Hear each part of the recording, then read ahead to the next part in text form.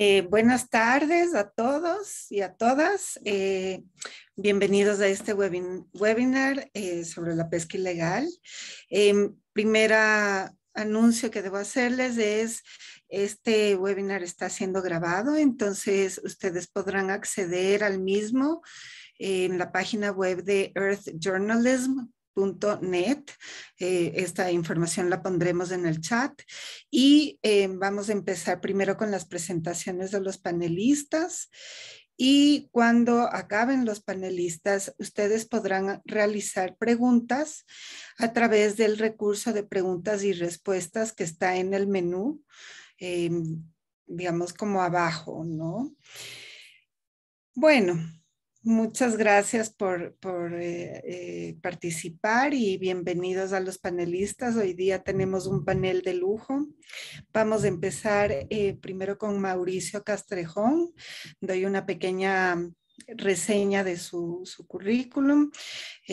Mauricio es un PhD, es un biólogo marino, es mexicano y se ha desempeñado como investigador en muchas organizaciones, entre ellas Fundación Charles Darwin, eh, la BBF o el Fondo Mundial para la Naturaleza, también como gerente regional de pesquerías del Programa Marino de Conservación Internacional. Y también ha combinado su experticia como docente en la Universidad de Waterloo, Canadá, y también como consultor para Island Conservation y Pew eh, Charitable Trust. Actualmente em, es profesor de la Universidad, eh, profesor investigador de la Universidad de las Américas, la UTLA, y gerente de la empresa pesquera Innova Pesca Compañía Limitada. Em, bueno, te doy la bienvenida, Mauricio, eh, tal vez como para empezar el, el, el seminario. Listo. Muchas gracias. Quisiera confirmar antes que nada si me escuchan. ¿Sí? Ok, bueno, antes que nada, muchas, muchas, muchísimas gracias por la invitación. Eh, yo voy a compartir ahora mi pantalla y por favor avísenme si, si la ven. Por favor. ¿Sí la ven? ¿Aló? ¿Sí ven la pantalla? Sí. Ok. Bueno, entonces voy a iniciar. Bien, el tema de, mi presentación eh, es sobre el tema de la pesca ilegal no declarada y no reglamentada en el Pacífico Este Tropical. Entonces, la intención de esta presentación de 20 minutos es eh, brindar una explicación sobre conceptos básicos asociados a, este, a, este, a esta a esta problemática, entender la naturaleza, dónde se origina, cómo se origina, cuál es su impacto, las causas y hablar de potenciales soluciones. Durante la, mi presentación voy a hablar muy particularmente el caso de Ecuador, de Galápagos y dentro de este contexto eh, sobre dos temas que han eh, atraído la atención del público de la sociedad ecuatoriana, uno relacionado con el tema del decreto 486 que permite la comercialización de la captura incidentales de tiburones en el Ecuador continental y el otro que es relacionado con el uso ilegal del palangre en la Reserva Marina de Galápagos. Entonces, antes de, iniciar, bueno, o para iniciar, pues la pregunta, la primera pregunta es, ¿qué es la pesca ilegal no declarada y no reglamentada? Entonces, básicamente, la pesca INDR se refiere a todas aquellas actividades de pesca que contravienen las leyes eh, y regulaciones nacionales, pero también las medidas de conservación y manejo que son implementadas por los organismos regionales de ordenamiento pesquero, como, como puede ser la Comisión Interamericana del Atún Tropical, y donde sean relevantes las leyes y acuerdos internacionales. De esta manera, la definición de ilegalidad pues, va a diferir de acuerdo al contexto. Lo que es ilegal en el Ecuador posiblemente no es ilegal en Costa Rica, en Colombia, Panamá, México o algún otro país. ¿no? Eh, cuando hablamos de pesca INDR, regularmente en las noticias nos referimos mucho al tema de la pesca ilegal, ¿no? que básicamente es realizar la pesca sin autorización eh, contraviniendo las, las, leyes nacionales, como puede ser pescar dentro de un área marina protegida, pescar especies que, que no se deben pescar durante época de veda, o eh, infracciones que contravengan las, regulaciones internacionales, ¿no? Sin embargo, también tenemos la pesca no declarada, que básicamente es aquella pesca que se realiza de manera legal, pero que no se está declarando, ¿no? O sea, tú puedes capturar, por ejemplo, un, una, un atún, ¿no? Pero llegas al puerto y no, no, le, no reportas a la autoridad que pescaste ese atún. Entonces, ese atún no queda registrado en la base de datos, no hay un registro y por tanto es una pesca no declarada. Y finalmente tenemos la pesca no regulada, que es aquella que se realiza por, por embarcaciones pesqueras sin nacionalidad en aguas internacionales donde no hay la jurisdicción de un organismo de ordenamiento pesquero.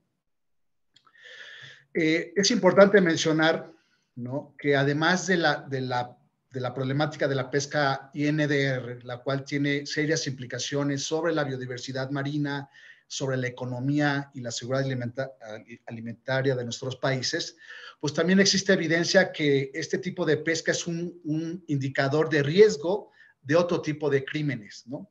Hace poco en, en, el mismo Ecuador hubo una noticia que relacionó la captura de una embarcación donde se encontraban tiburones, eh, aletas de tiburón y donde también se encontraba droga. Entonces es una señal de que este tipo de actividades ilegales, este tipo de, actividades ilegales, pues está correlacionada con otro tipo de crímenes como puede ser el tráfico de estupefacientes, eh, el tráfico eh, de humanos, corrupción, lavado de dinero, y obviamente lo que es el tráfico de especies protegidas, ¿no? Inclusive de especies eh, terrestres como también se ha observado en la noticia respecto a, a Galápagos, ¿no? Ahora, la, siguiente pregunta es, bueno, ¿por qué ocurre este tipo de pesca? ¿no? Y las causas, eh, pues son múltiples, son complejas y van a variar, como mencioné, de acuerdo al contexto, de acuerdo al país, de acuerdo al sitio, de acuerdo a la idiosincrasia del sector pesquero, de acuerdo a las regulaciones, etcétera, ¿no? Sin embargo, existen ciertos patrones. Este tipo de, eh, ilegalidades va a ocurrir regularmente en aquellos lugares donde existe una mayor oportunidad para realizar este tipo de, de actividades sin ser aprendido o sancionado. De esta manera, la pesca ilegal o la pesca INDR va a ocurrir en aquellos lugares donde, por un lado, va a haber una alta abundancia de especies con un alto valor comercial, sean atunes, sean tiburones, sean pepinos de mar, sean langostas, etcétera. Y donde en estos sitios, bueno, el esfuerzo para capturar este tipo de especies sea menor, ¿no? Ya sea porque los sitios de pesca son accesibles, cercanos a puerto, o también porque la probabilidad de ser detectado y, y sancionado sea mínima, ¿no? ya sea porque no existen sistemas de monitoreo y control y vigilancia o porque los procesos administrativos y legales no son expeditos.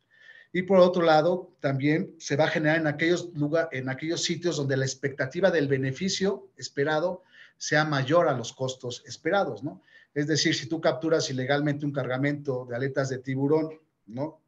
valorado en el mercado negro en un millón de dólares, y la multa es de 3.600 dólares, pues obviamente pues vas a correr el riesgo, ¿no? Vas a pagar, eso lo vas a asumir como un costo administrativo asociado a este tipo de actividad, ¿no? Ahora bien, en el caso de la pesca del Pacífico este tropical, ¿cuál es el tipo de pesca INDR que, está, que ocurre, no? Eh, yo realicé un diagnóstico eh, comparando, compilando información de, Colombia, Panamá, Costa Rica y Ecuador, y uno de los primeros eh, cosas evidentes es que no existe un estudio sobre la naturaleza, la magnitud y el impacto de esta problemática a nivel regional.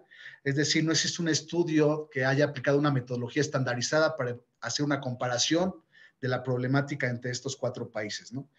Eh, las razones son, son variadas, pero una de las más importantes es que se carece de sistemas de información y estadísticas. En muchos casos existe la información, pero la, la información está en papel, entonces no es, no es accesible, la información está dispersa en diferentes instituciones, no existen indicadores de desempeño que den cuenta de las actividades de control y de monitoreo y también del impacto mismo de la, de la actividad ilegal. ¿no? De esta manera, este tipo de diagnósticos nacionales son muy limitados y en muchos casos en donde existen, pues ya están desactualizados. ¿no? Por otro lado, la investigación que se realiza sobre esta problemática también es muy limitada y regularmente está sesgada a evaluar el impacto de la pesca ilegal sobre ciertas especies como son los tiburones en áreas marinas protegidas, ¿no? El problema aquí es que, como mencioné, este problema es mucho más complejo y pues va más allá de la pesca ilegal en áreas protegidas, ¿no? Eh, eh, está relacionado, como mencioné, con temas de tráfico, tráfico, por ejemplo, de combustible, eh, tráfico de drogas, tráfico ilegal de especies, ¿no? Y existen obviamente diferentes tipos de ilegalidades que ocurren. En el Pacífico este tropical, eh, lo que muestra el, cuadro son los principales tipos de infracciones o de ilegalidades que ocurren en Colombia, Panamá, Costa Rica y Ecuador, ¿no? Y como verán, pues eh, la infracción más común, ¿no? sobre todo en Colombia, Costa Rica y Ecuador, es la pesca en zonas prohibidas, ¿no? particularmente en áreas marinas protegidas, como es Galápagos, como es Cocos, como es Malpelo. ¿no? Eh, sin embargo, bueno, también otro tipo de ilegalidades comunes, ¿no? Es la pesca de especies eh, de alto valor económico, como pueden ser los, pepinos de mar, las langostas durante periodos de veda, los atunes, camarones, etcétera.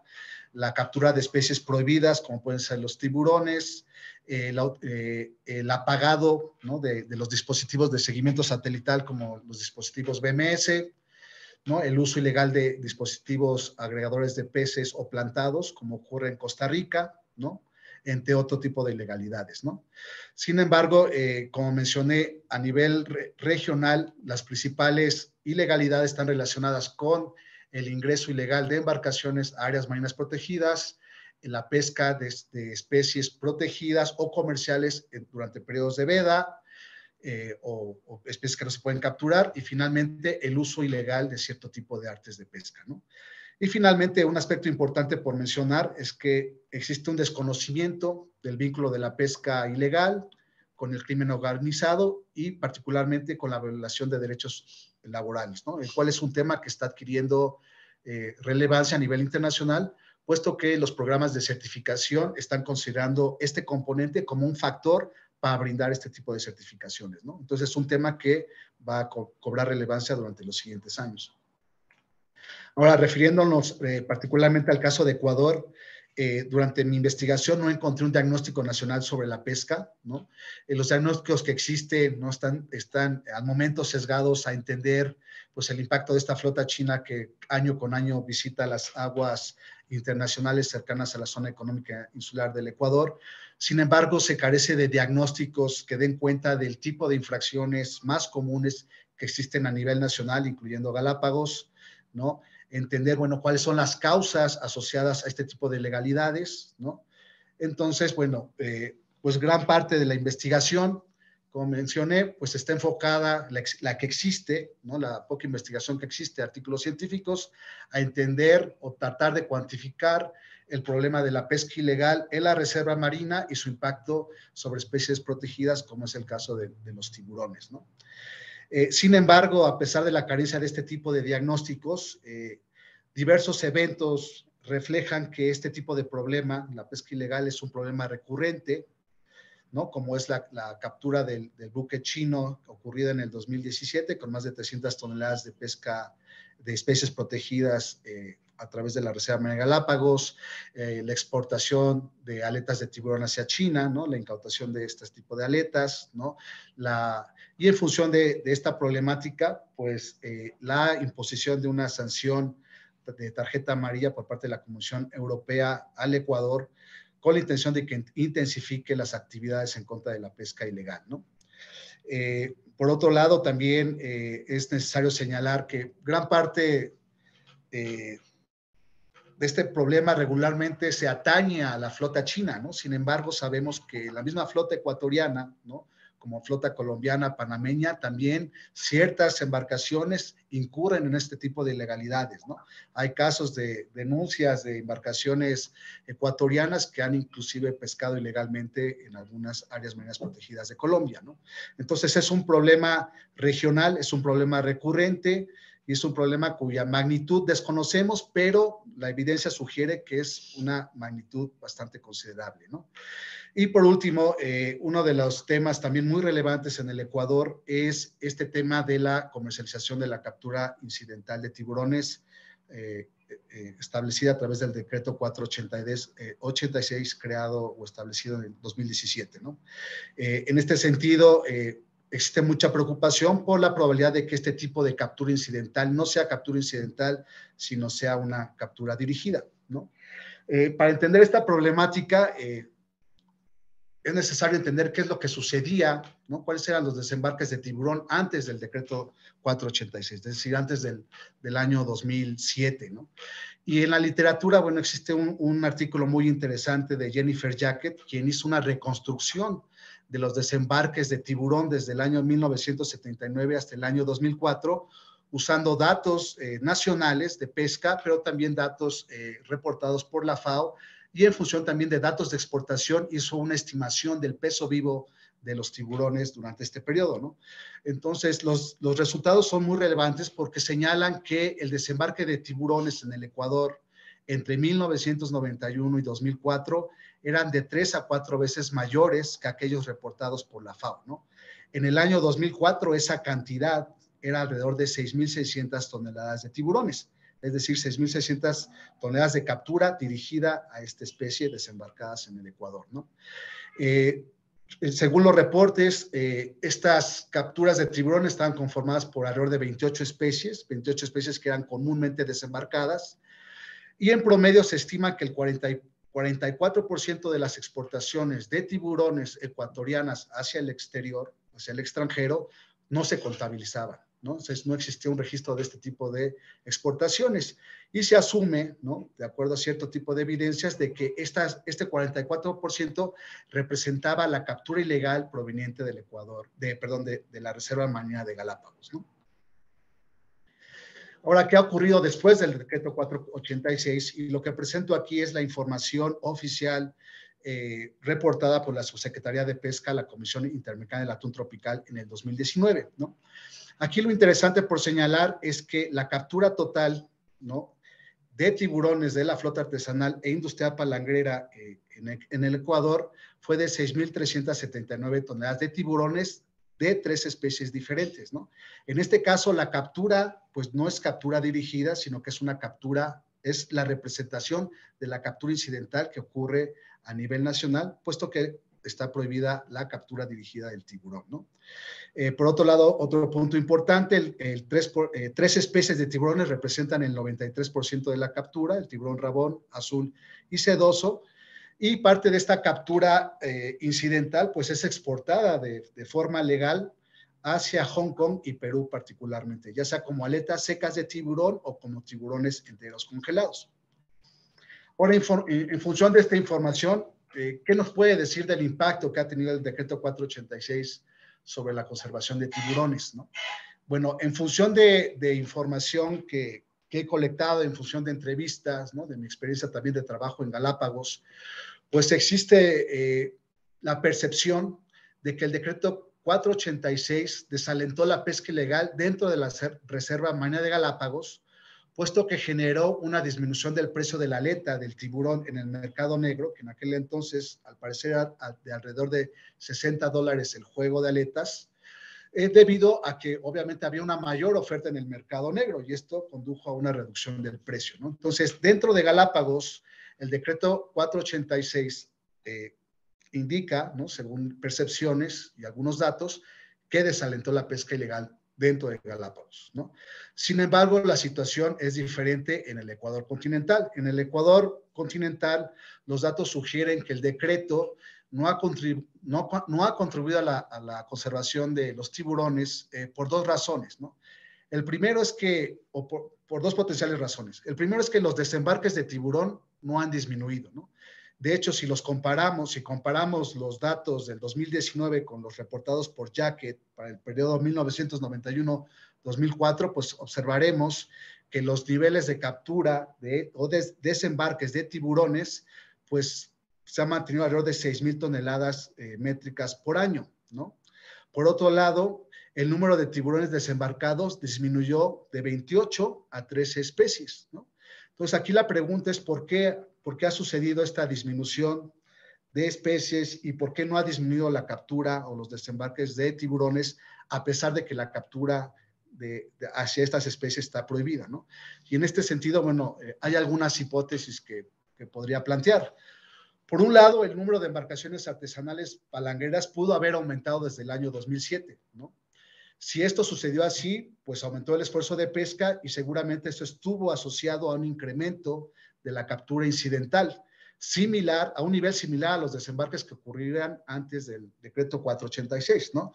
Para eso, obviamente, tendríamos que evaluar la serie de capturas de embarcaciones, de esfuerzo de pesca y tener una evaluación de largo plazo también de los desembarques, ¿no? La otra, la otra hipótesis es que realmente las capturas de tiburón no son incidentales, sino representan una pesquería ilegal que está siendo dirigida intencionalmente a ese tipo de especies, ¿no? Respecto al tema de las especies, de la, disminución de especies, pues existen también dos hipótesis. Una es que han existido, ha sido tanta la explotación de estas especies, ¿no? tanto a nivel del Ecuador de forma ilegal y también en los otros países vecinos o a nivel regional, que ha existido una extinción, al menos a nivel local, de estas especies y por esa razón no se está reportando ya su, eh, su, desembarco en, los en los puertos de Ecuador, lo que obviamente se refleja en una disminución de la biodiversidad en la composición de las capturas. Otra hipótesis es que ciertas especies, como podría ser el tiburón martillo, no están siendo desembarcadas y reportadas porque actualmente su captura y comercialización está prohibida en el Ecuador, ¿no? Razón por la cual posiblemente estas especies o bien están siendo descartadas en el mar, es decir, están siendo devueltas al mar, o bien están siendo comercializadas ilegalmente a, a través de transbordos ilegales ocurridos en, el, en alta mar. ¿no? Ahora bien, eh, la gran discusión actualmente es, bueno, si este decreto 486 debería derogarse, considerando que no está generando, al menos en el Ecuador continental, los objetivos para los cuales fue creado, ¿no? Mm, en este sentido, eh, habría que considerar algunos factores, ¿no? Para tomar esta decisión. Perdón, Mauricio, solo, solo pensemos en el tiempo, por favor. Eh, ¿Cuánto me queda? Eh, yo diría máximo unos dos minutos, porque ya estamos casi. Sí, gracias. Listo. Entonces, algunos, algunos temas para considerar, bueno, es que la prohibición de la comercialización de la captura incidental de tiburón podría incrementar el precio de la aleta en el mercado negro, generando un aumento de la pesca ilegal, ¿no? Esto particularmente en Galápagos, ¿no? Por otro lado, ningún arte de pesca es 100% selectivo, ¿no? Por lo tanto, la derogación del decreto 486 no va a eliminar el problema de la captura incidental y descarte, puesto que ambas son una parte integral de la pesca. En este sentido, una recomendación es minimizar la pesca incidental y el descarte a través del entendimiento de las condiciones que producen esta problemática para implementar medidas de manejo que ayuden a distribuir el esfuerzo de pesca de áreas o temporadas donde hay altos niveles de captura incidental de especies protegidas hacia áreas o temporadas donde no existe este problema. Y eso se puede realizar a través de diferentes medidas de manejo como están descritas en la diapositiva. ¿no? Eh, las sugerencias eh, respecto a este tema, bueno, son varias. Una de ellas es realizar una evaluación de largo plazo para entender el impacto ecológico y socioeconómico del decreto 486 evaluar si será efectivo, eh, bueno, implementar un programa de observadores, pues, o de monitoreo electrónico, porque, porque únicamente de esa manera este decreto podría ser efectivamente implementado, ¿no? Junto con la implementación de un sistema de trazabilidad y medidas complementarias como podría ser la implementación de áreas de no pesca permanentes o temporales en zonas o épocas donde existe una alta incidentalidad de tiburones u otras especies en peligro de extinción. En este sentido, es más fácil y factible vigilar que una embarcación no ingrese a una cierta área en lugar de determinar el tipo de pesca que realiza este tipo de, embarcación en, esta área, porque requiere de otro tipo de metodología. ¿no? Y bueno, ahí dejaría mi, mi, presentación. Muchísimas gracias. Gracias. Creo que podemos ampliar eh, más adelante con las preguntas y respuestas. Eh, bueno, ahora eh, damos paso a la siguiente, mm, a la siguiente panelista. Eh, muchas gracias. Eh, les recordamos, estamos registrando las preguntas y respuestas en, el, en la, digamos, como en la opción de preguntas y respuestas. Eh, tenemos con nosotros a Margarita Brandt, ella está en Galápagos en este momento. Ella eh, tiene un PhD en ecología y biología evolutiva y es especialista en ecología de ecosistemas marino costeros. Es profesora e investigadora de la Universidad San Francisco de Quito y lleva estudiando el mundo submarino de Galápagos por más de 18 años, ¿no? Y más recientemente las zonas intermareales de las costas ecuatorianas. Bueno, yo creo que sin mucha más anticipación, eh, doy paso a Margarita, recordando que tratemos de mantenernos en los 20 minutos. Gracias. Hola, buenas tardes con todos. Em, sí, justamente como Sigrid dice, soy ecóloga marina, entonces mi charla va a ser eh, bien enfocada a la ecología.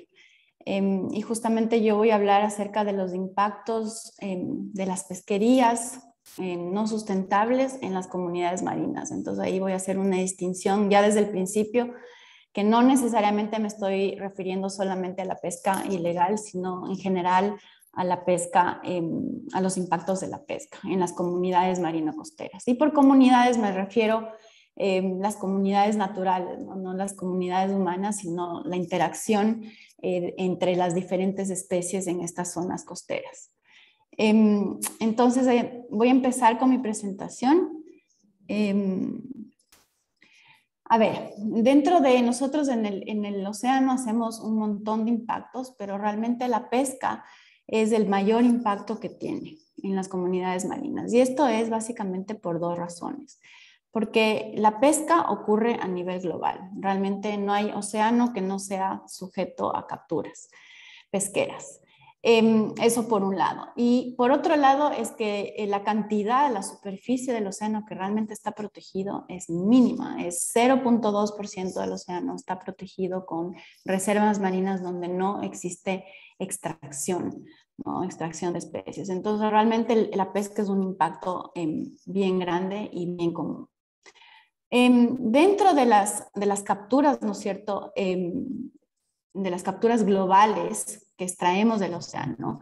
Se estima que del 11 al 26% son de estas capturas globales corresponden a la pesca ilegal, ilegal, no declarada y no reglamentada, que es un porcentaje bastante eh, considerable, vista que más o menos como se estima que el 78 millones de toneladas se extraen del mar anualmente y el, eh, digamos, 26% eh, o más o menos como 100, ¿no es cierto?, eh, millones de toneladas se extraen y más o menos hasta el 26% es de pesca no eh, ilegal, no declaramentada y no eh, regular. Em, sin embargo, como les dije antes, em, lo que también estamos viendo es que las pesquerías, ¿no es cierto? Ah, si vemos el slide anterior, han ido en aumento desde los años 50 porque cada vez extraemos más, hay más demanda, ¿no es cierto?, de, de las especies marinas. Pero los últimos años, a partir de más o menos de los años 90, em, se empezó a estabilizar las extracciones, las capturas ya no, ya no siguen aumentando. Y esto es básicamente porque ya estamos viendo que simplemente estamos cada vez pescando más y que las pesquerías sustentables están disminuyendo y más bien están aumentando las pesquerías no sustentables, es decir, aquellas que pueden de las poblaciones que pueden regenerarse, ¿no es cierto?, para que nosotros podamos seguir extrayendo. Y los impactos de estas en las comunidades marinas de la pesca, em, aquí puse las siglas en inglés, de la pesca ilegal, no declamentada y no regularizada, son iguales a las pesquerías no sustentables y eso debe ser el enfoque de mi charla. Entonces, ¿cuáles son estos impactos? Tenemos dos tipos diferentes de impactos, que son los directos y los indirectos. Y voy a em, explicar cada uno de ellos y en la medida de lo posible dar un ejemplo em, de ejemplos de Galápagos. Los impactos directos. Entonces empezamos con cambios de abundancia y biomasa. Estos son impactos dirigidos, directos a las especies. Eh, básicamente disminuyen las poblaciones de las especies que estamos capturando y asimismo su biomasa. Em, y esto se debe a que es una estrategia pesquera, ¿no es cierto? En, pesquería lo que se trata es extraer em, individuos eh, que se producen, digamos, de más en las poblaciones. Entonces, se trata de explotar a las, a las poblaciones en su máximo, em, eh, sostenible. Esto quiere decir que cuando las poblaciones están creciendo, ¿no es cierto? O tienen un crecimiento mucho más rápido en esta zona de de la curva de crecimiento de la población. Entonces, el extraer individuos a este nivel hace que haya menos competencia entre los individuos de una misma población y que por lo tanto haya más recursos y que la productividad de una misma población sea mayor y por lo tanto se, trata, ¿no es cierto?, de mantener a las, a las poblaciones debajo de esta em, tasa de reproducción súper alta para que sigan siendo sustentables. Sin embargo, eh, los problemas de manejar las, pesquerías así, ¿no es cierto? Es que por lo general no están las poblaciones solas, sino que viven en comunidades interactuando con otras especies y que van a ver una diversidad de historias de vida diferente, tasas de mortalidad diferentes, eh, entre las diferentes especies que van a afectar la mortalidad natural, no necesariamente por las extracciones pesqueras. También tienen historia e intensidad de extracción muy diferente. muchas poblaciones tienen manejo inefectivo y también va a haber una diferencia en la capacidad de recuperación o resiliencia de las poblaciones.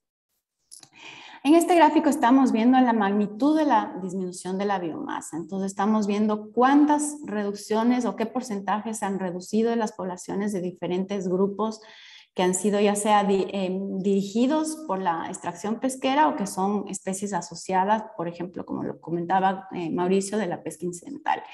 Y del 60 al 95% han ocurrido disminuciones en la biomasa para los principales grupos de especies explotadas. Por ejemplo, para las ballenas, ¿no es cierto?, alrededor del 65% de disminución, pero otros grupos como las tortugas marinas como un 95%. ¿no? Eh, aquí las barras grises están indicando la recuperación porque simplemente las leyes de extracción de algunas especies han cambiado para, para ciertos grupos de especies. Y otro asunto importante es que estamos modificando eh, los tamaños promedios de las poblaciones. Como somos depredadores bastante eficientes, ¿no es cierto? Nos gusta ir por las eh, ¿cómo se llama? Em, eh, los tamaños más grandes por los individuos más grandes y eso vemos que tiene una consecuencia a largo plazo. En este gráfico estamos viendo, en cambio, cómo en los años 50 em, hay esta estructura, ¿no es cierto?, de abundancia, no solamente en el eje em, Y, y también del tamaño o de la biomasa del cuerpo, es mucho, era mucho más grande para diferentes grupos, ¿no es cierto?, de atunes o de eh, tiburones. Y para después de 40 años simplemente tenemos una pirámide mucho más reducida porque la biomasa disminuye y también los tamaños promedios. Esto es, como les dije, una comunidad de depredadores en el Pacífico Central. Entonces, cada vez tenemos individuos más pequeños y poblaciones más pequeñas. Y no tan lejos, ¿no es cierto? Aquí en Galápagos eh, tenemos, por ejemplo, la extracción em, a muy baja escala de las canchalaguas o los quitones.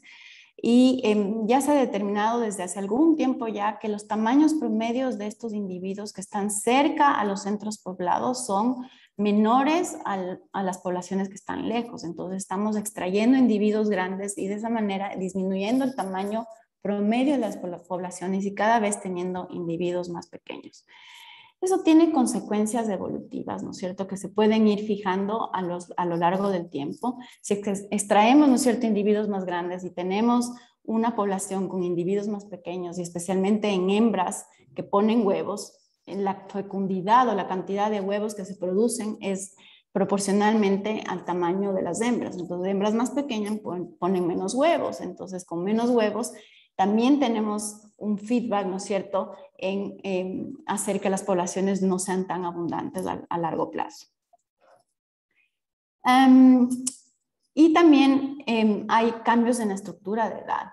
Em, hay la tendencia, ¿no es cierto?, que con la extracción pesquera tenemos que las especies grandes, longevas, viejas, son cada vez más raras o poco abundantes y además son más vulnerables porque son de lento crecimiento, tienen tasas de reproducción lentas, y por lo tanto un impacto, ¿no cierto?, en ellas va a ser mucho más rápido que en, otras especies. Y lo más importante es que como estamos cambiando esta estructura de edades, ¿no cierto?, en las, en las comunidades marinas, estas, estas comunidades se vuelven menos estables y tienen menos capacidad de recuperación o de resiliencia a, lo largo, a largo plazo. Otro cambio es en la composición de especies. Entonces, la composición de especies es simplemente qué tipo de especies es, que es diferente a la diversidad de especies, que es el número de especies. La composición es quién está ahí. aquí tenemos un gráfico, ¿no es cierto?, que nos muestra básicamente eh, una pirámide alimenticia con niveles tróficos altos y bajos. Y como mm, nos gusta por lo general eh, extraer, ¿no es cierto?, especies en los niveles altos de las, de las cadenas tróficas, vamos, vamos acabando, ¿no es cierto?, con, con, esos recursos y nos movemos al siguiente nivel, y nos movemos al siguiente nivel. Eso se conoce como fishing down marine food webs, que simplemente dice que al principio empezamos a explotar especies eh, en, los niveles altos de la, de la, cadena trófica y poco a poco como los vamos reduciendo o desapareciendo o extinguiendo localmente, tenemos que movernos a niveles más bajos de la cadena alimenticia. Y esto es un fenómeno global que se, que se ha visto a lo largo del tiempo. Otra cosa, ya em, aquí estamos hablando también de pérdida de la biodiversidad y este gráfico aquí em, nos muestra básicamente a lo largo del tiempo capturas de diferentes especies de atunes, como em, eh, la diversidad de, especies de atunes eh, capturados ha disminuido a lo largo del tiempo. Porque claro, hay diferencias en las historias de vida de las especies, ¿no es cierto? Hay especies que son más o menos vulnerables, ¿no es cierto? Y si es que son más vulnerables, se vuelven cada vez más raras, disminuimos sus poblaciones sus rangos de distribución son mucho más restringidos, entonces obviamente eso va a tener una incidencia en la diversidad de especies que estamos extrayendo. Y justamente entramos ahí el tema del riesgo de extinción. Entonces, em, realmente por extracción pesquera no hemos tenido tantas extinciones globales en las comunidades marinas, son muy pocas. Em, sin embargo, las tasas ahorita que se estiman de riesgo de extinción, es decir, especies que están en algún tipo de categoría de amenaza de, em, por extinguirse, fluctúa entre el 9 y el 40%, y con diferentes, digamos, em, categorías de amenaza y con diferentes grupos, ¿no es cierto?, de, de especies. Y son particularmente vulnerables los peces cartilaginosos, las aves, los reptiles y los mamíferos marinos. Justamente estos grupos de especies son aquellos que son más vulnerables a la pesca incidental. Y estos, estas estadísticas para mí son realmente alarmantes en darnos cuenta que casi la mitad de las capturas globales de todo lo que sacamos del océano corresponden a pesca incidental. Eso traducido en toneladas, es casi, casi como 40 millones de toneladas son eh, de, corresponden a pesca incidental, es decir, que es pesca no es dirigida, no, es no son las eh, especies que queremos capturar, pero que simplemente caen en, en, las redes o en las artes de pesca que, que no son, como decía Mauricio, muy selectivas. Entonces ahí están justamente los peces cartilaginosos, tiburones, mamíferos, tortugas marinas. uy, aquí se me, se me, em, se me unieron los dos slides. Pero bueno, en Galápagos em, tenemos algunos proyectos pilotos, ¿no es cierto?, de, eh, que han tratado de medir justamente la pesca incidental en la reserva marina. En el 2013, 2014 eh, salió este informe del Parque Nacional, perdón, em, que básicamente em, daba una estimación de cuánta pesca incidental eh, este proyecto piloto del empate oceánico modificado arrojó. Entonces, en términos de porcentajes era muy poco, era como alrededor del 11% eh, de las especies eh, y de la biomasa capturada, de, la biomasa capturada correspondía a pesca incidental. Todo el resto eran las especies eh, objetivo, digamos. Entonces, en número de en, en, biomasa no fue tanto, pero las especies objetivo eran solo seis y se capturaron como, si no me equivoco, equivoco 36 especies. Eh, luego se hizo, eso era un proyecto piloto con pocas embarcaciones y justamente el Parque Nacional hace un llamado eh, y una proyección de cuántas eh, especies, especialmente de tiburones, por ejemplo, podrían caer si es que ya se implementa un, un, tipo de, de, arte de pesca como este en la, reserva marina, ya hace un llamado, digamos, de detención de que podría tener consecuencias muy graves por ejemplo, para los tiburones, porque se proyectan capturas muy altas de estas especies que especialmente están también en peligro de extinción. Em, otra cosa importante acerca de, las extracciones, ¿no es cierto?, no sustentables y relacionadas a las pesca incidental. ¿Será que la perdimos? No, ya. Estoy aquí, ¿me oyen? Sí. Sí, por un ratito me perdieron. Ya, entonces otro de los asuntos em, relacionados con la pesca incidental son los descartes, que es básicamente eh, lo que les estorba, ¿no es cierto?, a las flotas pesqueras de sus embarcaciones. Entonces son pescas que eh, son parte de la pesca incidental que por cuestión de espacio o porque no tienen mucho valor comercial, simplemente se botan literalmente en el mar. Entonces se estima que 9 millones de toneladas al año se desperdician de la pesca, ¿no es cierto?, global. Y la mayor parte de esta pesca eh, de descartes proviene de la pesca de arrastre, que son estas pescas que simplemente barren el fondo marino, no seleccionan nada, cogen de todo y al final solamente se selecciona lo que tiene mucho, un valor mucho más alto. En cuanto a los impactos indirectos, aquí estamos hablando em, de conceptos un poco más ecológicos, ¿no es cierto? Una vez más, entrando en las eh, cadenas alimenticias y los efectos top-down, como se los conoce en inglés, el control top-down, son efectos al eh, remover especies en las partes altas de las cadenas alimenticias, en los niveles tróficos altos de las redes alimenticias. Entonces, un ejemplo clásico son las cascadas tróficas, ¿no? Entonces, una cascada trófica simplemente significa que cuando yo cambio la abundancia en un eso va a crear una cascada de diferencias de abundancias en los niveles tróficos más bajos. El clásico ejemplo con las, em, ¿cómo se llama? Con las nutrias de mar, ¿no es cierto? Cuya abundancia bajó, ¿no es cierto? Entre los entre el año 86 más o menos hasta los 97, su abundancia bajó, entonces cuando eran abundantes controlaban a las poblaciones de los erizos, los erizos controlan a las eh, poblaciones de algas pardas, sin embargo, si es que removemos ya sea por cacería las nutrias, por su piel se las cazaba, o porque los depredadores simplemente cambian de, presa, controlan las poblaciones de las nutrias, las poblaciones de erizos en cambio explotan, ¿no es cierto?, aumentan un montón y se bajan las densidades de productores primarios como las algas, ¿no es cierto?, que son también proveedores de hábitat. En Galápagos tenemos estas correlaciones que nos dan como una indicación que pueden estar existiendo cascadas tróficas aquí también. Y lo que ustedes ven aquí simplemente son abundancias de diferentes grupos eh, de especies en relación a la distancia a los puertos poblados. Entonces, mientras más lejos me voy de los puertos poblados, voy a tener más abundancias de, de peces depredadores que controlan a los erizos los erizos son aparentemente están más abundantes en las zonas pobladas porque hemos removido, ¿no es cierto?, a sus depredadores por extracciones. Y asimismo, eh, asimismo los erizos pueden eh, controlar, ¿no es cierto?, a las poblaciones de macroalgas, es decir, las macroalgas van a ser más abundantes a medida que nos alejamos de los puertos, pesqueros. Estos son, es una evidencia eh, de correlación, realmente no mecanística, que podría estarnos indicando de estos impactos a través de la red alimenticia. También existen estos triángulos tróficos. Esto es un ejemplo del bacalao del Atlántico que ha sido eh, fuertemente capturado a lo largo del tiempo. Entonces aquí estamos viendo su abundancia o su biomasa, cómo ha cambiado a lo largo del tiempo, básicamente de los 90. sus abundancias fueron muy bajas. Y aquí vemos cómo su presa, el arenque, ¿no es cierto?, ha subido.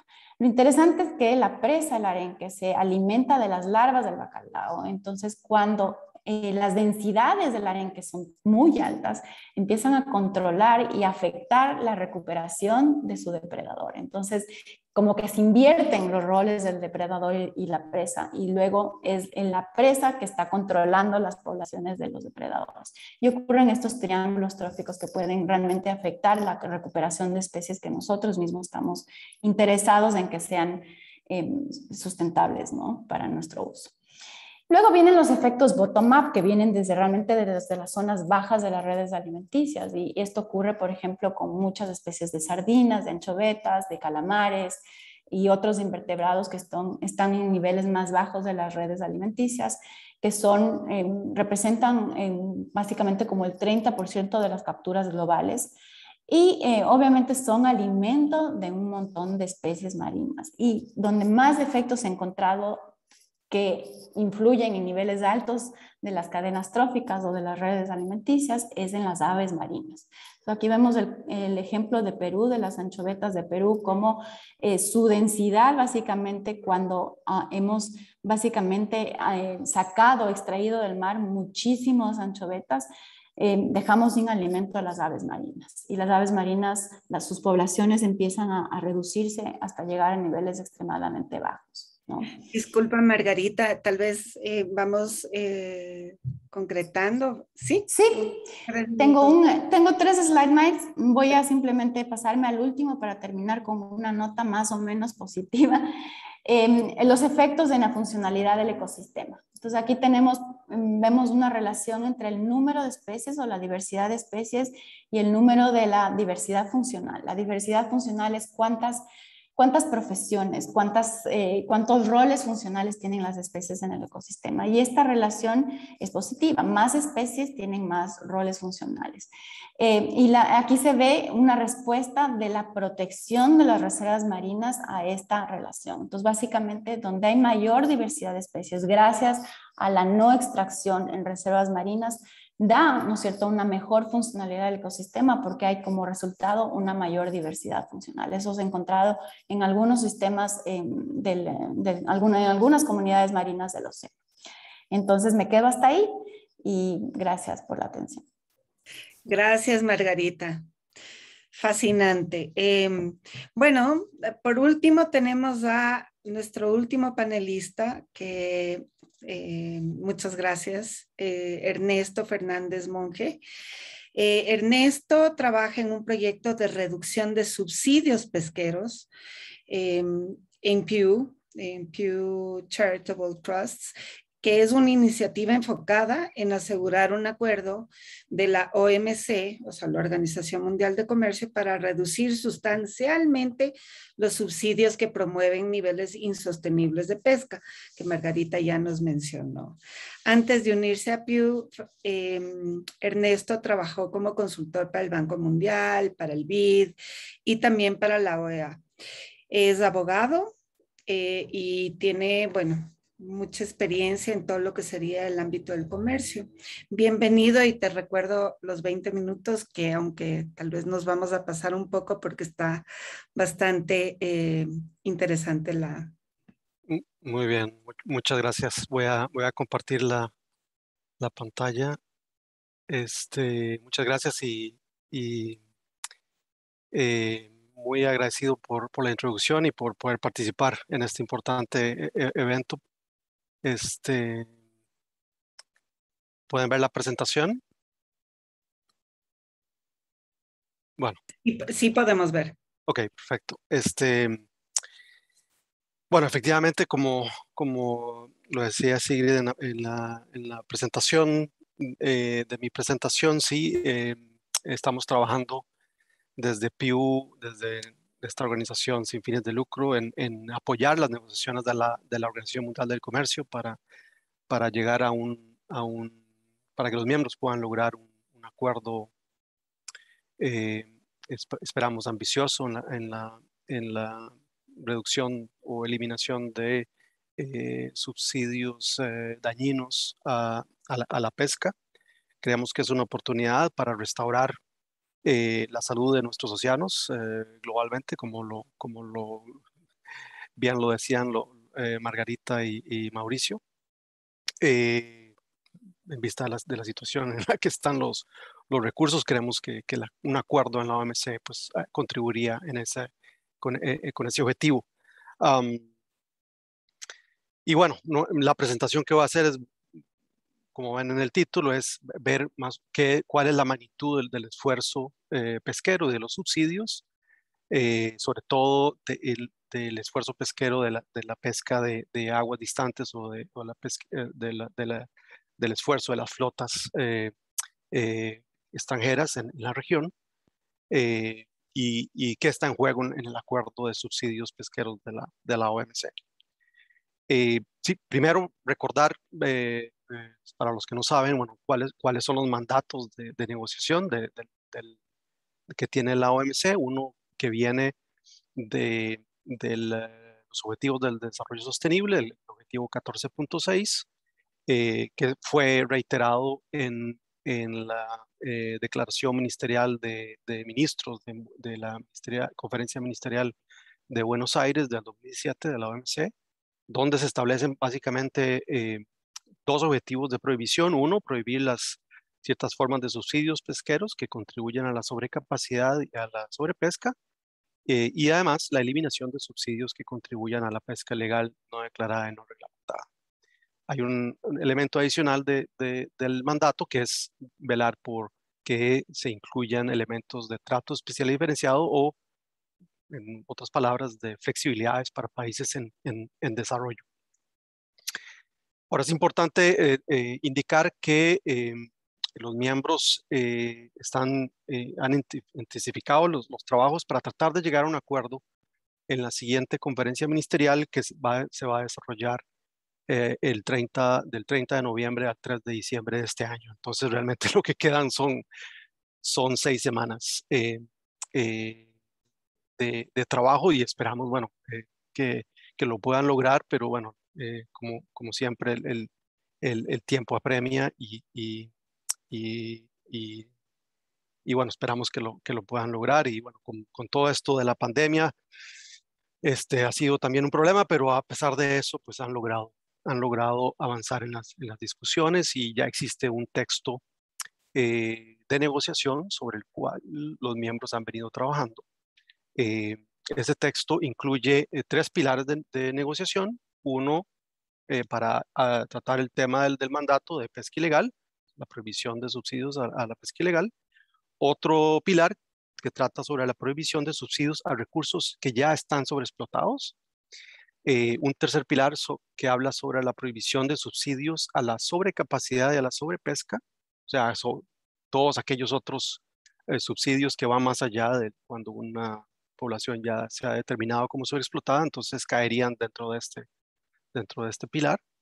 Eh, dentro de este pilar, bueno, ya hay una lista propuesta de subsidios que estarían prohibidos, como subsidios al combustible o subsidios a la, a la construcción de embarcaciones.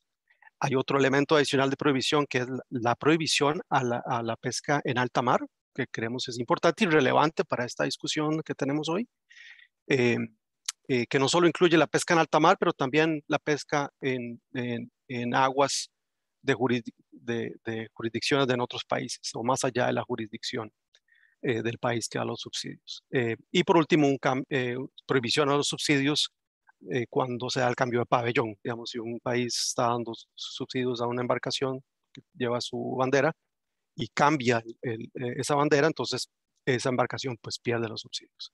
Y por último, bueno, hay, un pilar de temas horizontales donde se incluyen este, el alcance de la negociación que solo cubre subsidios a la pesca este, eh, de, marina, no incluye acuacultura, eh, flexibilidades, que hablaba de trato especial diferenciado, transparencia, notificación es importante, eh, y el tema de solución de diferencias. Específicamente sobre, sobre la provisión de subsidios a la pesca este, ilegal, el, lo que se está discutiendo incluye varios elementos y aquí está, aquí incluyo la lista.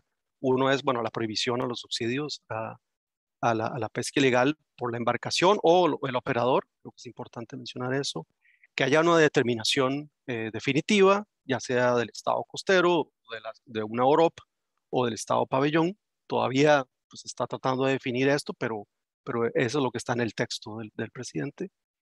Esa determinación tiene que llevar un cierto debido proceso de notificación al, país que da los subsidios eh, eh, y que haya pues un, una tome en cuenta eh, la, mejor evidencia científica disponible para tomar esa determinación. Hay cierta automaticidad, una vez que hay una determinación, el, país que da los subsidios pues tiene que eliminarlo. Hay cierta flexibilidad en cuanto a la duración de la prohibición. Eh, luego hay, va a haber una obligación en términos de transparencia, eh, establecimiento de legislación y procedimientos para la implementación de, de esta prohibición. Y como, como flexibilidad está el tema de, los periodos de transición eh, de dos años eh, para no llevar a disputas a países en desarrollo para que tengan tiempo de, de poder implementar. Y sobre todo esto es eh, más que todo enfocado a, a, a la pesca de, pequeña escala, pesca artesanal, para dar ese, tipo de flexibilidad. Hay otro elemento que no está aquí porque no está en el texto del presidente y es una propuesta de Estados Unidos que, eh, quiere incluir el tema de, eh, trabajo forzado o forced labor, eh, que es, un, es un tema interesante y, lo menciono porque Mauricio mencionó que, que, la pesca ilegal tiene otras aristas que no es solo relacionado con, con, la pesca, sino que tiene relacionado con, con la droga, tráfico de drogas y demás. Entonces, pues lo quería mencionar en, en, acompañamiento de ese, de ese, de ese comentario. Ahora, bueno, aquí no me voy a detener. Yo creo que Margarita ya mencionó el tema del, del estado de, de, las pesquerías, de acuerdo con, con, la FAO. Aquí simplemente quería mencionar que, que comparado, digamos, cuando, eh, cuando, las negociaciones comenzaron en la OMC en el 2001, eh, eh, vemos como el, la tendencia este, de los recursos eh, o de la sobreexplotación es, es a la baja.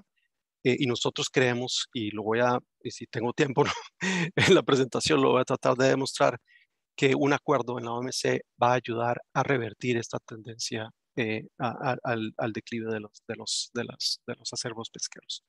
Eh, eh, nada más como, como referencia y antes de entrar a dos, dos herramientas que, que Pew ha, ayudado a elaborar con la Universidad de California Santa Bárbara para, para el análisis, digamos, de, del esfuerzo pesquero y, del impacto de los subsidios. Eh, quería mencionar simplemente, digamos, eh, eh, cuál es el, el, de qué estamos hablando cuando hablamos de subsidios. Hay un estudio de Rashid Sumaila, que es el, el, experto líder en este tema de la Universidad de, de British Columbia. Eh, el más reciente estudio que hizo fue en el 2019 eh, y se ha establecido que, que eh, las estimaciones globales es que hay, eh, los países dan 35 mil millones de, de, de dólares en subsidios anuales, de los cuales hay, de ellos hay 22 mil millones que son subsidios dañinos. y estos son los subsidios de que el acuerdo va a tratar de, de, de poner disciplinas. Eh, hay una menor cantidad de subsidios eh, beneficiosos, esos, esos pues van a seguir sin, sin problema, y hay otros que son ambiguos que dependiendo de cómo se manejen pueden ser dañinos o, beneficiosos. Eh, aquí nada más destacar que eh, no, aquí esto no es, no es un tema norte-sur, sino que como podemos ver en, el PAI, el, los países en desarrollo tienen una gran participación en, dar estos este tipos de, subsidios. Eh, y como podemos ver en las barras horizontales, eh, los, los, los, marcados en los cuadros rojos de eh, subsidios al combustible y, de los, las exenciones a los impuestos son quizás los más, los más perjudiciales y, y los más significativos. Em, eh, y el último es en las, en las barras eh, verticales, es la participación por región eh, vemos cómo Asia, Europa y China individualmente contribuyen significativamente a, este, a estas estimaciones globales. Latinoamérica y el Caribe, pues eh, en menor medida, eh, eh, siendo comparado con China quizás una tercera parte de lo que, de lo que ellos dan, con lo cual pues es una, posiciona a la, a la región en una, eh, en una situación beneficiosa de cara, a, de cara al acuerdo. Posteriormente, tomando esa información, eh, otra, otra especialista en, este, en esta área de subsidios pesqueros, Anna Schwauer, hizo un análisis de, de la división entre de esos subsidios eh, en lo que se da a, a, a largas, a, pesca industrial y y a, pequeña escala. Y aquí podemos ver la distribución de, los subsidios y vemos como una, la, gran mayoría, casi el 80%, de los subsidios va a la, a, la, pesca industrial y en mucho menor medida a los subsidios, los subsidios van a la, a la pequeña escala.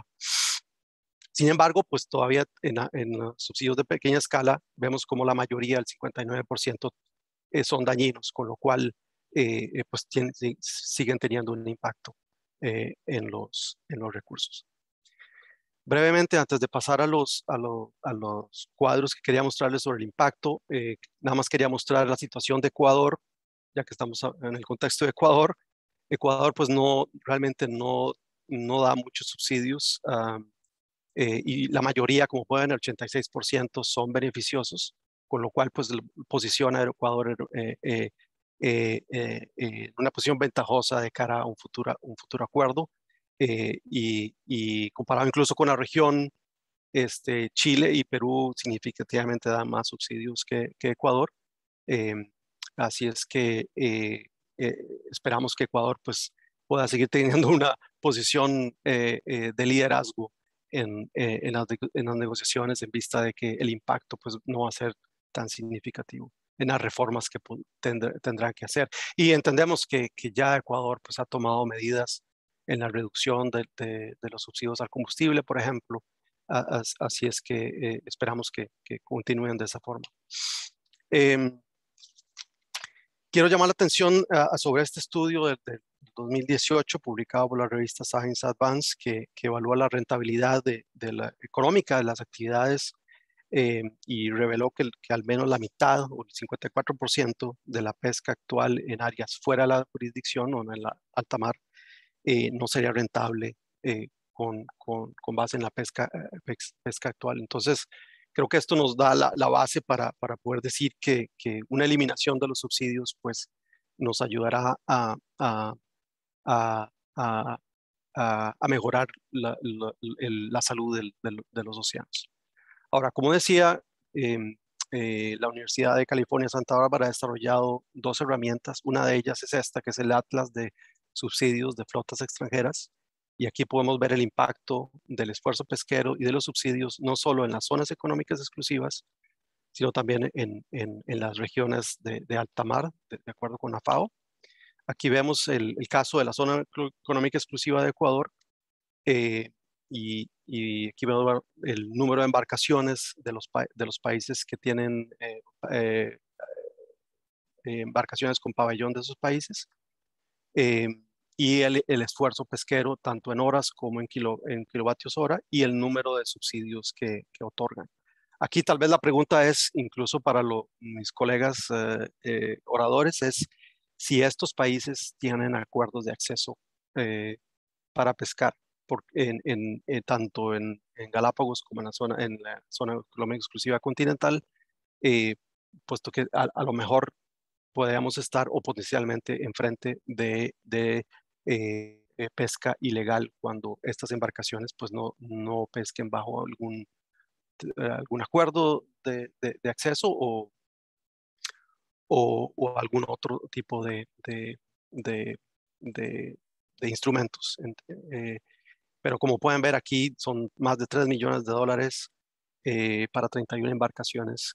Estos son datos del, del 2018, eh, tomados de Global Fishing Watch, eh, que, los, que el análisis, digamos, de la Universidad de California Santa Bárbara han hecho para tratar de, de establecer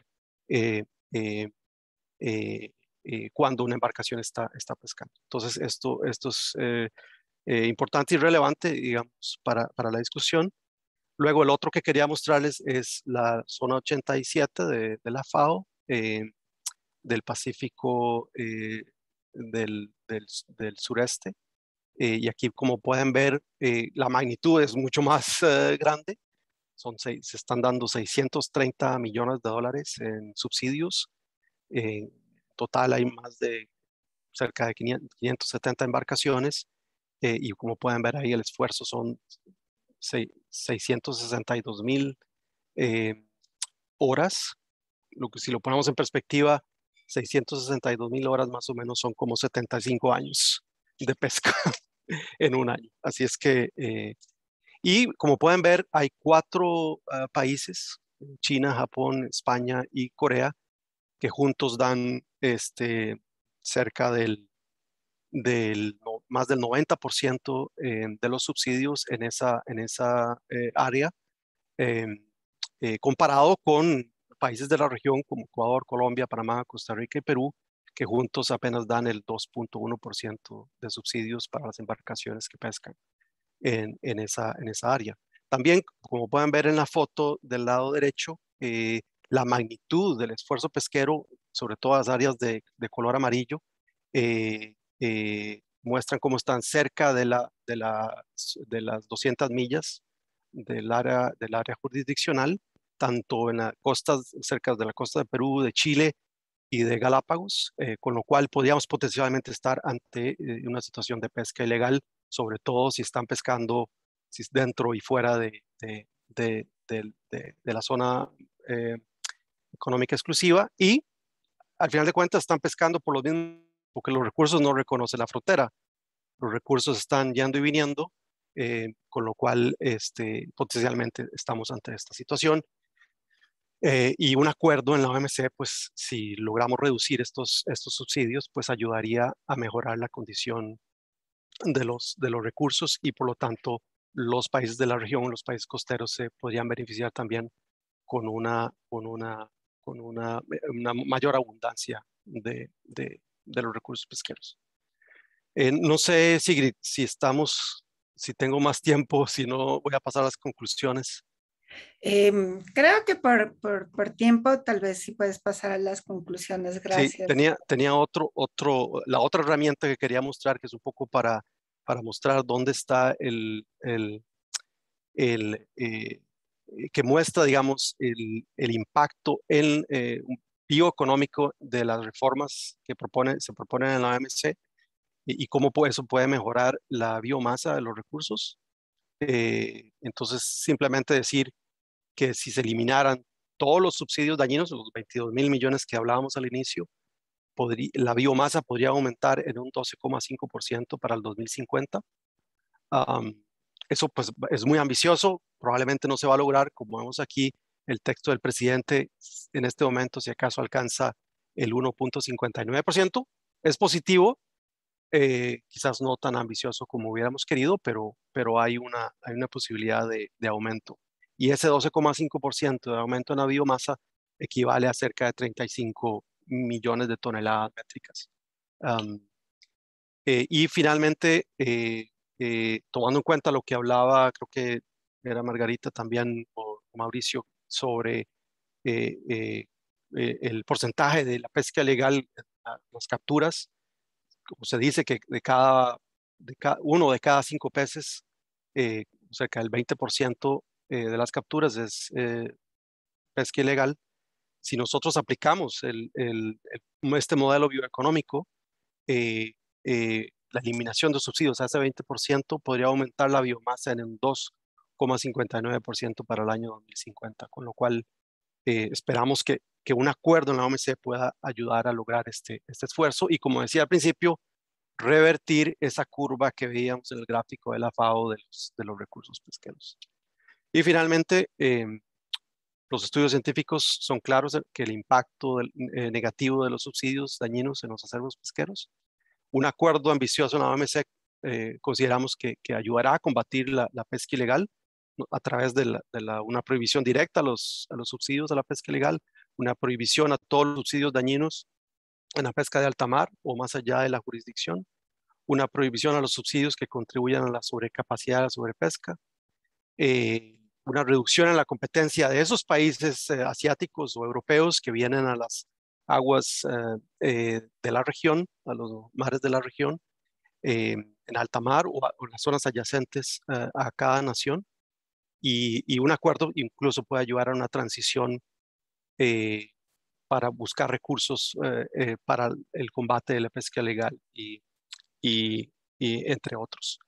y esperamos que, que sea catalizador para, para que los países eh, eh, eh, hagan las reformas a las políticas pesqueras nacionales más sostenibles. Y con eso me detengo aquí y esperamos expandir más, poco más en la, en la sesión de preguntas y respuestas. Listo. Muchas gracias, Ernesto. Muchas gracias a todos. Eh, tenemos, como, como les decimos a los a quienes están participando, la opción de preguntas y respuestas. Eh, quizás con Mauricio hay algunas eh, preguntas que han sido orientadas a Mauricio. Entonces, eh, tal vez escogemos una para leerla y tal vez para responderla. ¿Te parece, Mauricio? Mientras esperamos sí. más. Seguro. Entonces, aquí hay una, una de Sebastián Villazante. Eh, eh, presenta, dice, si se dispone de informes de estudios sobre cuál es la magnitud de la pesca IUU de la flota de Ecuador y de las flotas extranjeras en la zona económica exclusiva de, Ecuador. Sí, ¿qué tal Sebastián? Eh, bueno, como le comentaba, no existe a nivel regional y a nivel nacional un estudio que dé cuenta de la magnitud ¿no? de la pesca ilegal, por ejemplo, de tiburones o otras especies que está ocurriendo en el Ecuador. ¿no? Y tampoco existe una, una estimación del impacto económico que genera esa, esa pesca incidental.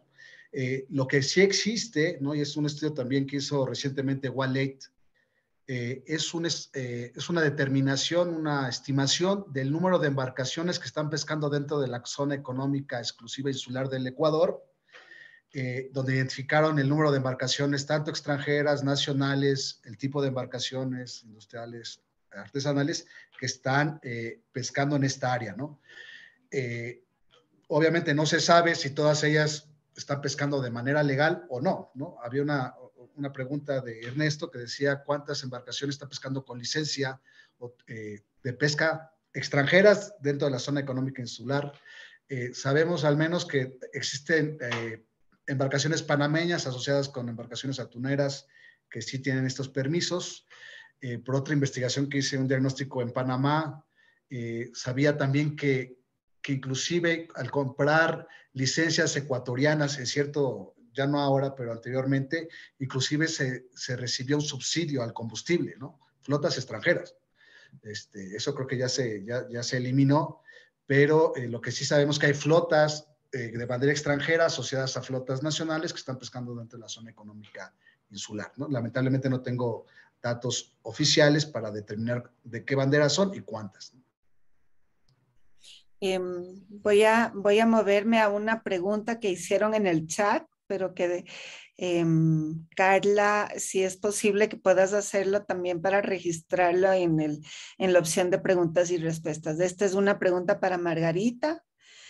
Con la pesca ilegal en Galápagos, ¿se afecta la cadena trófica de las especies endémicas en Galápagos? Em, a ver, ahí habría que preguntar o más que nada como especificar cuál pesca ilegal, ¿no? Eh, dirigida a, cuál, a cuáles organismos, pero como la pesca ilegal puede ser, un, puede ser pesca ilegal, ¿no es cierto?, de especies protegidas, o una pesca ilegal también puede ser capturar especies que están regularizadas, pero que simplemente son capturadas, por ejemplo, durante las vedas. Claro que pueden tener una influencia en las cadenas, ¿no? redes alimenticias eh, aquí en Galápagos. Un ejemplo podría ser, eh, si es que no se, ¿no cierto?, cuantifica los desembarques, qué sé de las langostas o de los langostinos, que nos dan una idea, ¿no cierto?, de los tamaños poblacionales de, ellos y mismo que son los que controlan a las poblaciones de los erizos. Eh, definitivamente estamos viendo un escenario de que puede tener un, impacto en, en, las redes alimenticias o en las cadenas tróficas de Galápagos. Eh, voy, a, voy a hacer una pregunta eh, que tal vez Ernesto nos puedes contestar. Eh, Cata Carat menciona si cree que el Tratado de Alta Mar de la ONU que se está negociando actualmente tendrá un impacto en la pesca ilegal y cómo.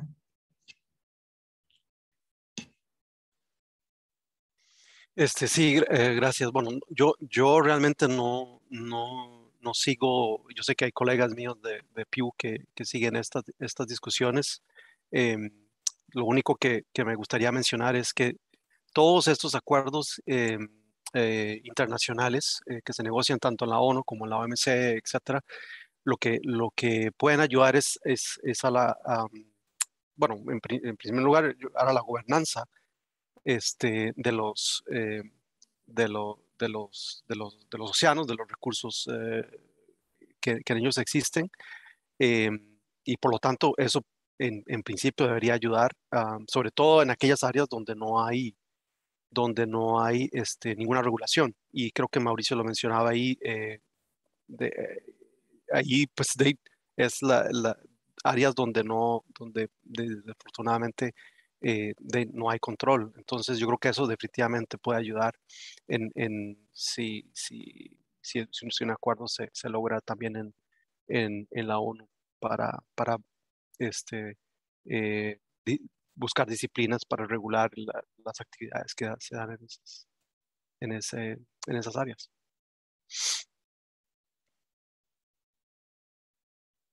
otra, otra pregunta, em, tal vez que, eh, que está para Mauricio en el tema, em, bueno, creo que Mauricio nos explicó un poco algunas hipótesis de lo que se debe hacer, pero aquí Guido Mosquera dice que ¿qué debe priorizar para lograr un control adecuado de este tipo de actividades ilegales?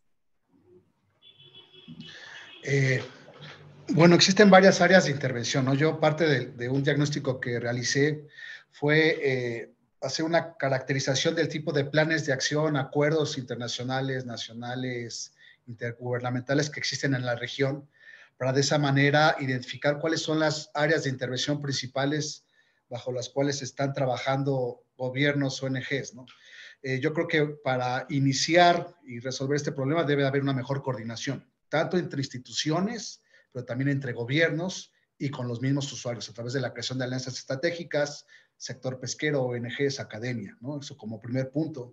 Como segundo punto es establecer sistemas de información que sean compartidos, que sean transparentes, para que los científicos podamos realizar una evaluación del impacto, tanto ecológico que tiene la pesca ilegal y pesca no declarada, pero también el impacto socioeconómico.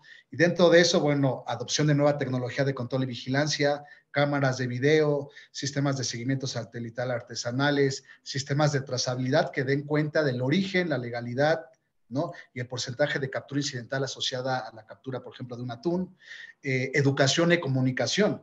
Eh, muchas veces la ilegalidad ocurre porque el pescador no conoce el marco normativo, ¿no? E inclusive muchas veces la autoridad no conoce los procesos que debe de seguir para que el proceso administrativo no sea exitoso, ¿no?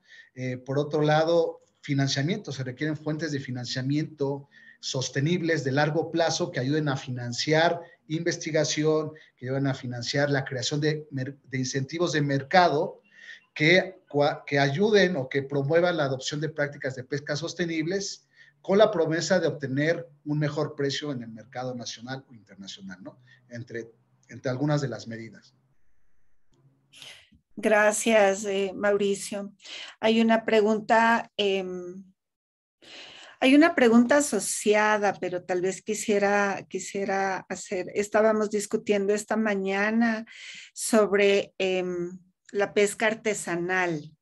¿No? Y como nos mencionó Ernesto, hay subsidios daninos que van a la pesca artesanal, pero tal vez la definición de qué constituye la pesca artesanal y qué, qué cuándo comienza a ser una pesca eh, más industrial. Eh, tal vez, eh, Ernesto, no sé si te pongo por ahí en una, en una disyuntiva.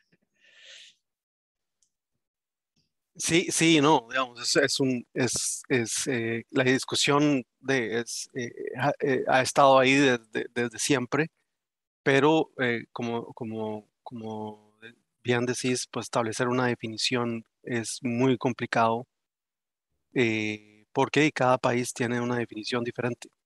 en, la, en la OMC, pues tienen 20 años de estar discutiendo esto y, y, y ahora pues han aterrizado en algunos elementos más socioeconómicos eh, y territoriales. Uno eh, es el tema de, la pesca que se da dentro de las 12 eh, millas náuticas, que de alguna manera se podía interpretar que en su mayoría es de, pequeña escala o de pesca artesanal.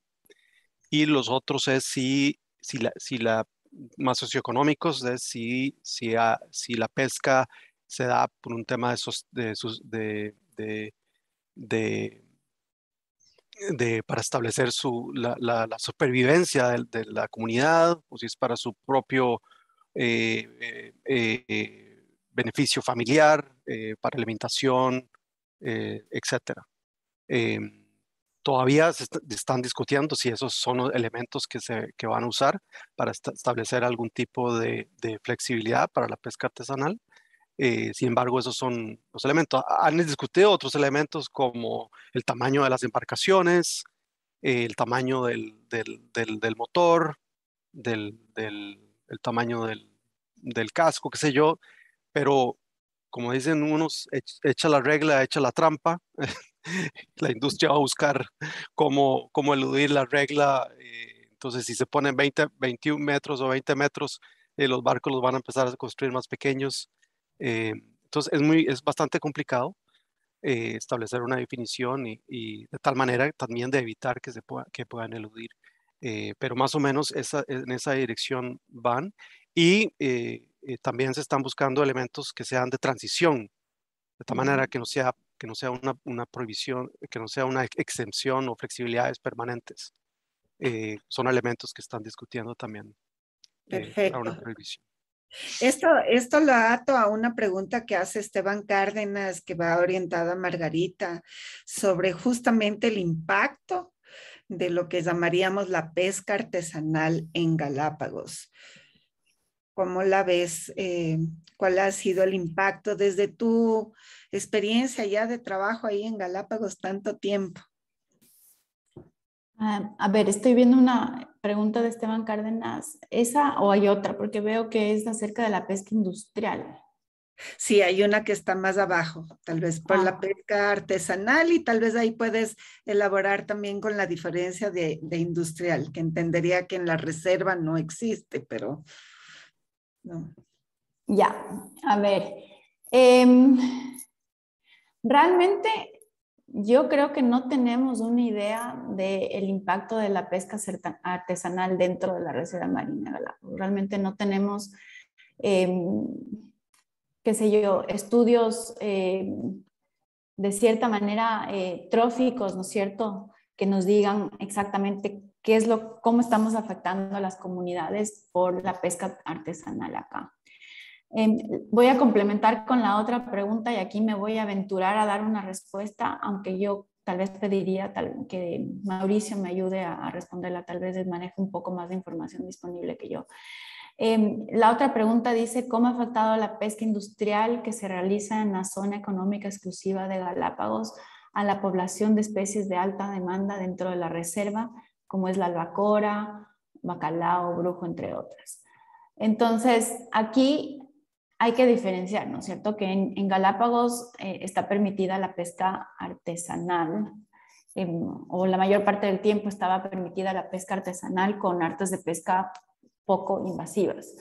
Em, y mientras que la pesque, las pesquerías industriales, ¿no es cierto?, fuera, ¿no es cierto?, de las 40 millas de, la reserva marina, está abierto a otros artes de pesca, eh, como es, por ejemplo, el palangre, ¿no? Entonces, em, es un poco difícil comparar, porque además eh, los reportes, y aquí quiero que me ayude tal vez Mauricio a especificar, los reportes de los desembarques de especies, por ejemplo, de atún por pesca artesanal, yo no sé si sean tan completos como, por ejemplo, de las pesquerías tradicionales de Galápagos artesanales como son la langosta, el pepino eh, u otras.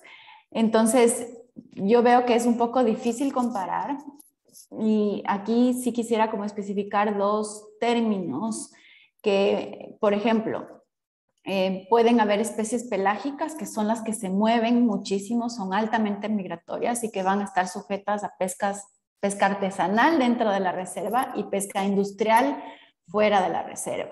Entonces, en esas sí puede haber, digamos, una interacción de que, qué sé yo, lo que pase afuera de la reserva va a influir, ¿no es cierto?, lo que en las poblaciones de las eh, eh, especies que están adentro de la reserva. Como dijo Ernesto, no conocen fronteras, simplemente se mueven y algún impacto debe haber.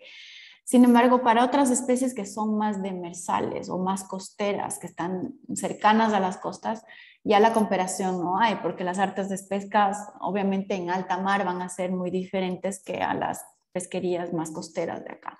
Entonces, no sé, Mauri, si tal vez tú quisieras complementar un poco con si es que es posible realmente eh, determinar el impacto de la pesca industrial fuera de la reserva en las pesquerías que se dan acá adentro. Sí, eh, bueno, por, por, un lado mencionar que el impacto de aquellas embarcaciones que pescan alrededor de Galápagos, ya sea industriales o artesanales, eh, está enfocado principalmente a la captura ya sea legal, ilegal, incidental de atún y de tiburón, ¿no? que es básicamente la, la preocupación, puesto que son eh, especies, como mencionó eh, Maggie, que están viajando ¿no? desde Galápagos hacia el Ecuador continental, hacia otras áreas marinas protegidas. ¿no? no existe una afectación, hasta donde sabemos, de la pesca industrial o artesanal continental sobre ciertas especies como el brujo, el bacalao, eh, la langosta, puesto que son especies ya más territoriales, ¿no? que se mantienen dentro de la reserva, dentro de los límites. ¿no? Entonces, eh, para entender, bueno, el impacto, no tenemos evaluaciones de un impacto, no, no, no podría decir que se extraen X cantidad de tiburones o de atunes cada año de la zona económica insular. Tal vez de, de atunes sí hay unas estimaciones, eh, más o menos se extraen el 15% la flota industrial de lo que captura a nivel eh, nacional, ¿no? sin embargo, en el caso de los tiburones, lo que sabemos es que gran parte de la incidentalidad captura incidental de tiburones y probablemente la captura ilegal de tiburones ocurre en la parte noreste, ¿no? noreste del archipiélago, en lo que se conoce como las migravías. ¿no? Esto en función de un estudio de Jimmy Martínez, creo que del año 2008.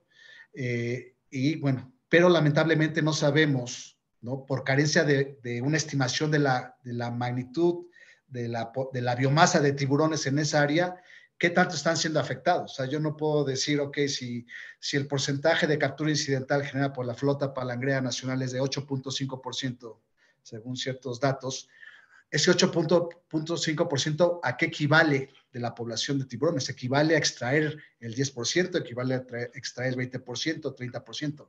No lo sabemos, ¿no?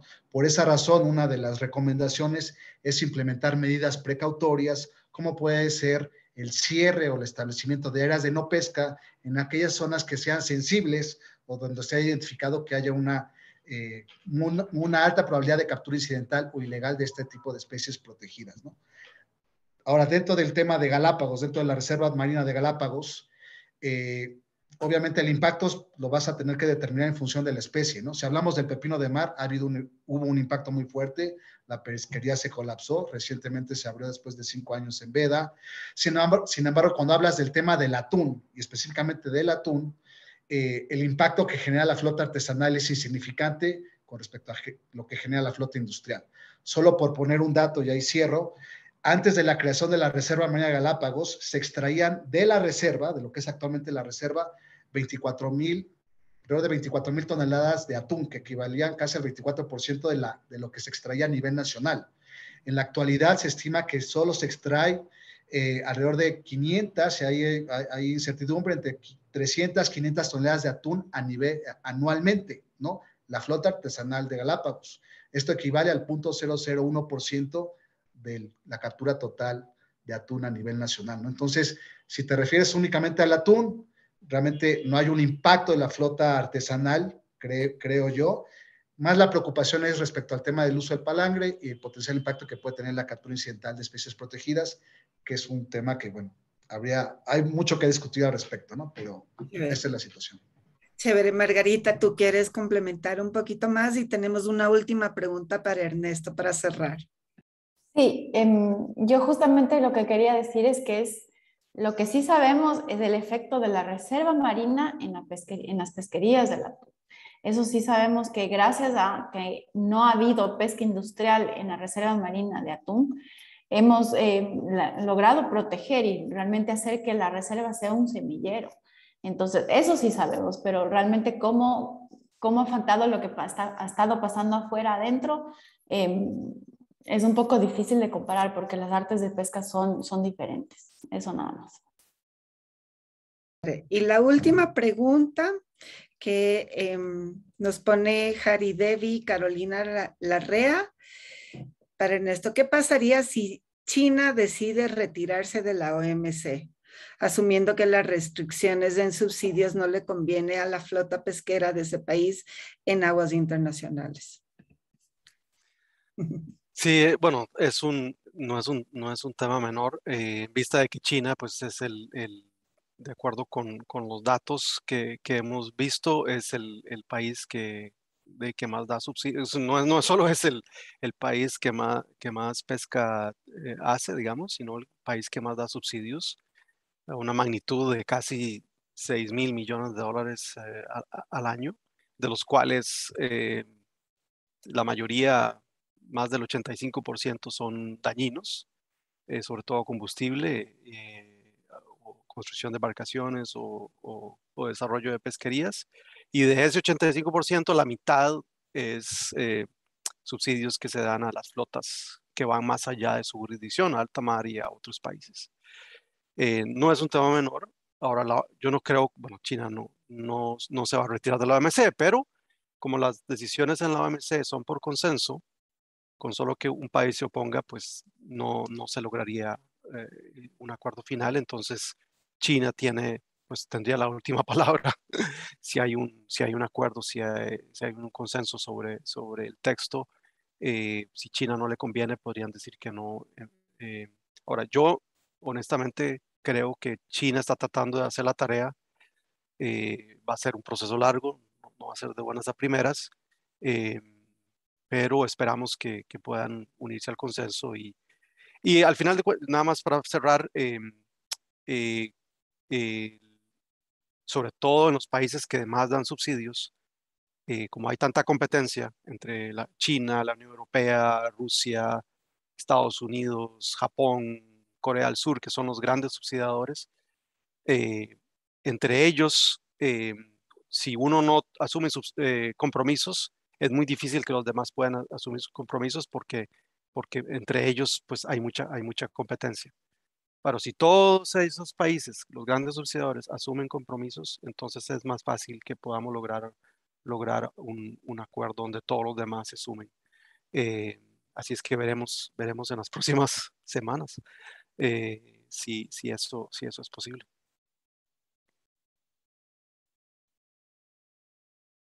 Muchas gracias, ha sido pero fascinante conversación. Eh, realmente nos ha quedado corto el tiempo, siempre nos queda corto el tiempo. Em, yo a los participantes, como les eh, mencionamos al principio, em, ustedes pueden visitar la página web de Earth Journalist Network, em, que es Earth Journalism, está en el chat, eh, para poder inscribirse y acceder a la, digamos, a la grabación de este webinar y también pueden eh, no se olviden que hay una convocatoria, una segunda ronda a reportajes, porque yo sé que nos están acompañando algunos eh, periodistas.